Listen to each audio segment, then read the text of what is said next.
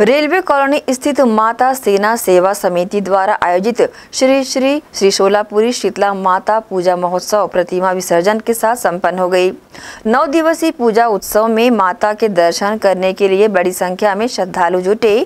वही माता का विशेष श्रृंगार कर पूजा अर्चना की गई। तत्पश्चात गाजे बाजे के साथ धूमधाम से माता का विसर्जन किया गया। इसमें हज़ारों की संख्या में लोग शामिल हुए। आइए देखते हैं विसर्जन की खास झलकियाँ।